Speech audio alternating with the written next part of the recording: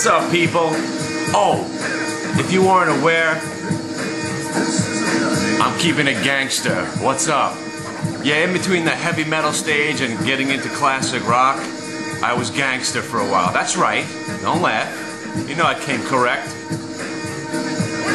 I got 17 Raiders hats to prove it. What's up? Nah, anyway, so what's going on, people? Yeah, strangeness going on, right? Strange when Jefferson Crow's on the right side of stuff. That's why when I do have a firm of my own, that's where the stress relief girls come in. Because just imagine, if you were happen to going against me the last couple of days, you might be getting your ass kicked for once. Generally, I'm feeding you money. You probably have enough cash to withstand a couple of days. But the stress relief rooms, you're going to be able to get massages, you have your beverages, and for you women out there, we'll have manicures and pedicures at the firm. My dream will soon be reality.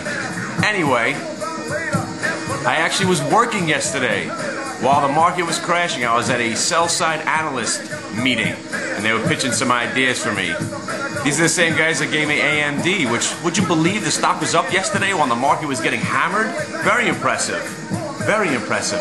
But what we came away with was a company called Aria, A-R-I-A.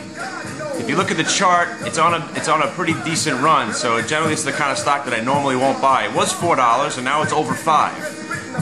It's a pretty decent move for a four dollar stock. Um, but we're being told that things are looking good for the company. A-R-I-A. It's Ariad Pharmaceuticals. All right. Now, here's what I want to talk to you about. I'm not going to come at you and start spewing all the codes and numbers that they were talking about and the effigy and uh, all the, you know, clinical terms that they were throwing at me because that was all going over my head. You know, I'm just thinking, okay, stock price and where's it going? Um, so here's where what, what, what, we're up to. This is a company that has a lot of things going on. Right now, they have lawsuits pending with Eli Lilly and Amgen. So there's a lot of things going on. They're they're suing that they own the rights to a pathway on how to create certain drugs, which it's it looks like it's going to be a long road as far as that those court cases are, are concerned. So we're not going to even concern ourselves with those. But what the company does is they have a let's just call it a can, uh, a tumor shrinking drug. It's pretty incredible.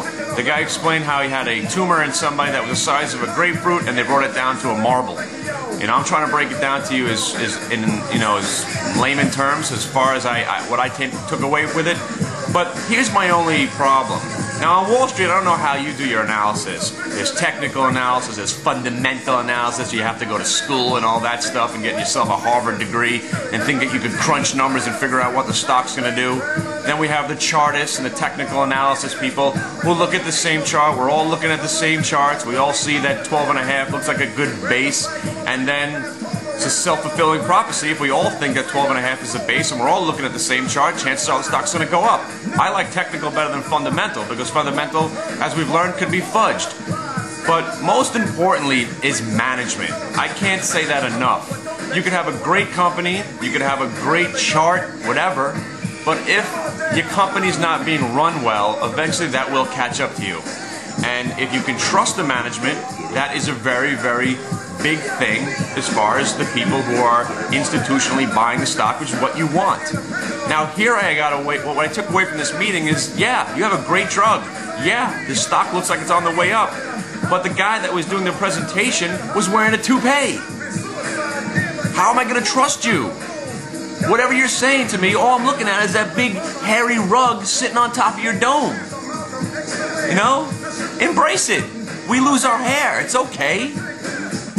What are you going to do? But you're telling me all this data and telling me how great your company is, and all I'm thinking is that you're lying.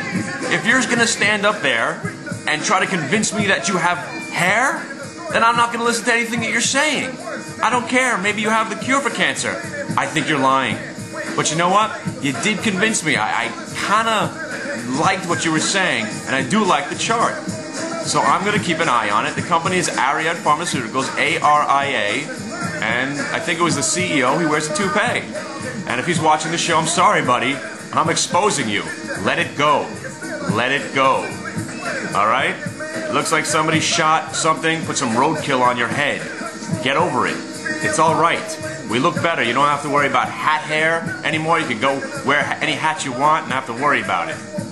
Anyway, take a look at it, ARIA. I'm still short the cues, and I'm not covering. I'm not covering probably till next Friday. So next week's option expiration, I'm going to try to find you some nickel and dime options that we can make thousands of percent on our money. And uh, keep linking me up, keep commenting. I'll probably be here all day. And I will see you soon.